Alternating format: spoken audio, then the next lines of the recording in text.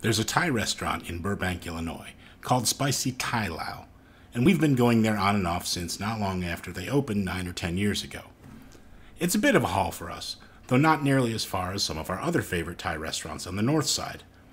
But we've made it there for special occasion meals with some regularity birthdays, graduations, raises, etc.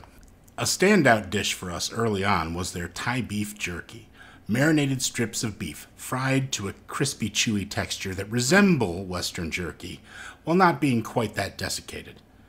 It was served with a dipping sauce that hit all the cardinal points of the Southeast Asian culinary map sweet and sour, salty and spicy, along with some pickled vegetables on the side, and a garnish of julienne carrots that I'm sure were meant for decoration only, but my kids called them carrot noodles and ate them anyway. One time, and I literally mean one time, the pickled vegetable that came with the jerky was a zucchini kimchi that they were experimenting with. I never saw them serve that again, but I've been thinking about it ever since, and made my own first experimental batch nine years ago this month. I've been growing zucchini in my garden this year, almost entirely so I could make it again. I have two plants, and most of the zooks have been golden in color, though I've had a few that come out the usual green.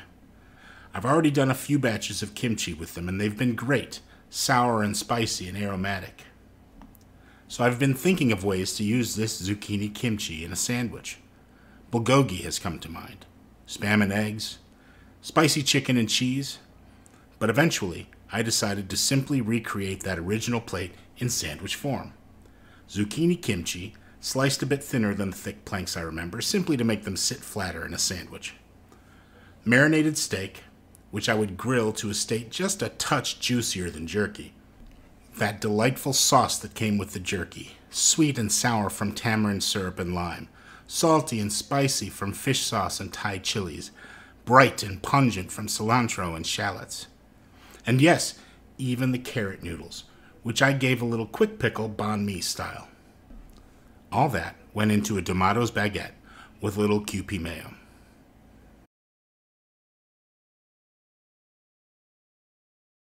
Guess what, guys?